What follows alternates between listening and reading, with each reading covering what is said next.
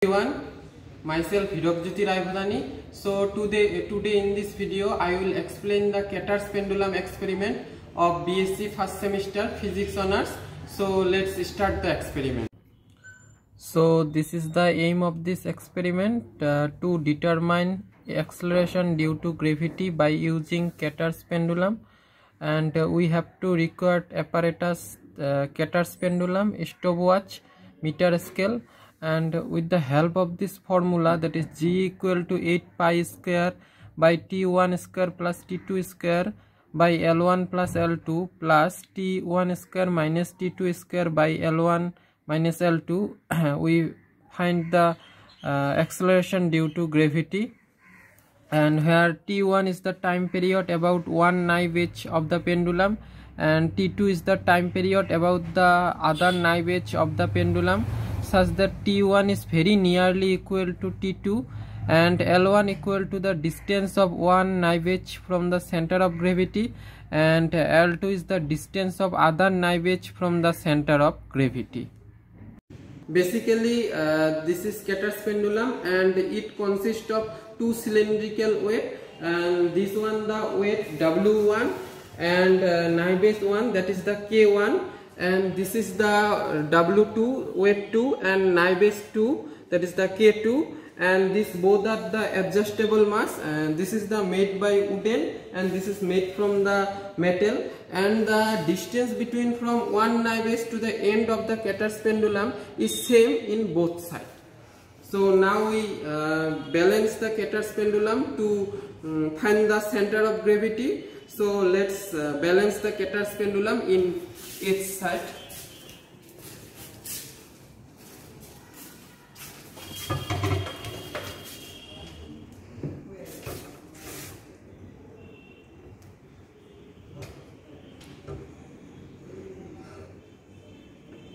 So now you can see here this is the balancing position of Kater's pendulum. Both the sides of the Kater's pendulum is don't touch the table. And uh, this point is the this point is the center of gravity. And we marked here with the help of a chalk pencil. So from the point of center of gravity to the knife edge k1 the distance is l1 which is i measure by the meter scale which is 48 centimeter and from the center of gravity to the knife edge k2 which is l2 and which is 52 centimeter. Now we can write here the distance of knife edge K1 from center of gravity L1 is 48 centimeter and mean of the L1 which is also the 48 centimeter. And the distance of knife edge 2 from center of gravity L2 52 centimeter and the mean of the L2 which is also the 52 centimeter. Now we hang the Kater's pendulum in the stand Uh, to find the time period of oscillations and one thing you have to notice that the when you hang the Kater's pendulum in the stand the Kater's pendulum don't touch the wall.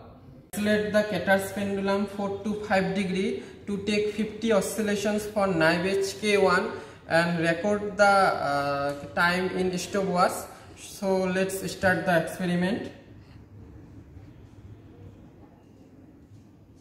one, two, three, four, five, six, forty-six, forty-seven, forty-eight, forty-nine, fifty. You can see here in this stopwatch the time is uh, uh, 1 minute 26 second so if we convert the 1 minute 26 second in only second then uh, it should be approximately 86.30 uh, and again uh, for the approximation we take 50 oscillations for knife edge uh, k1 and take 50 oscillation and record the time in stopwatch and if we convert the time in uh, only second then it, uh, the value approximately 88.00 in our experiment after that we again uh, reverse the Ketter's pendulum for Naive K2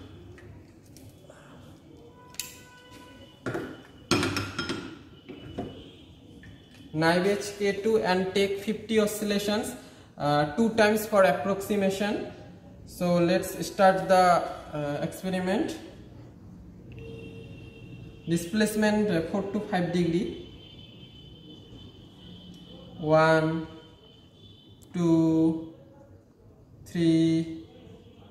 four, six, seven, five, forty-six, forty-seven, forty-eight, forty-nine, fifty. Now you can see here the time is uh, semi same approximately same one one minute 26 second and 56 uh, so if we convert this uh, only second then it should be 86.65 and again for the approximation we take 50 oscillation again for the naive k2 and put the value here. And uh, similarly for the above uh, oscillations that is the 40 30 up to 5 oscillations we take uh, 4 times oscillations each of uh, one naive and uh, put the value here. And after that uh, here the we have to find the time period about the naive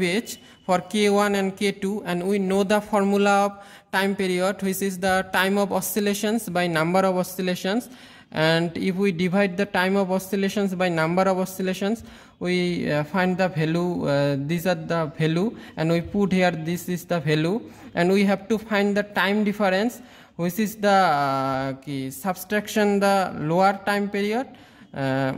from the bigger one and put the value here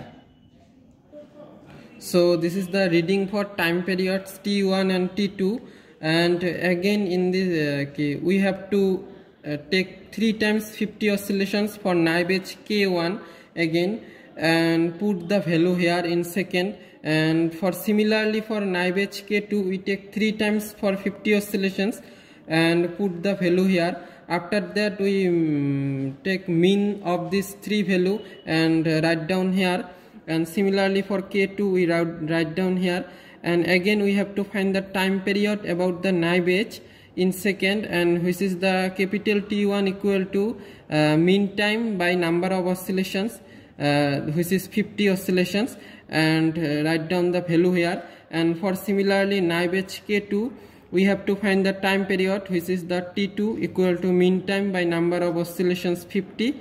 uh, which is the this is the value now we have to find the result and putting the value all of t1 t2 l1 and l2 in equation 1 which is the small g equal to 8 pi square by t1 square plus t2 square by l1 plus l2 plus t1 square minus t2 square by l1 minus l2 and putting all the value of t1 t2 l1 and l2 after solving this problem we uh, get the value 10.08 meter per second square which is uh, mm, not equal to the 9.8 meter per second square but approximately same to the uh, 9.8 meter per second square. But this is not the same for 9.8 meter per second square. So in this experiment uh, error is occurred. So we have to find the error in this experiment so firstly we have to find the proportional error and the formula of proportional error uh, is del t1 square plus t2 square by t1 square plus t2 square plus del L1 plus L2 by L1 plus L2 and we can assume here that is the T1 is T1 and T2 is approximately same. And after getting simplifies this equation as uh, uh, T1 and T2 is approximately same we get the del small g by small g equal to del capital T by twice capital T plus twice del L by L1 plus L2 and here del L equal to the 0.2 centimeter which is the two smallest division of a meter scale. And here the time period capital T equal to small t by number of oscillations which is 50 and uh, we get here del capital T equal to 1 by 50 del small t and here the del is the value of del small t equal to 0.1 second because uh, the smallest division of stopwatch is also the 0 0.1 second. After putting all the values of proportional error can be we can be calculated from equation number 2 this is the equation. And putting all the value here after solving this uh, problem we get the value of proportional error is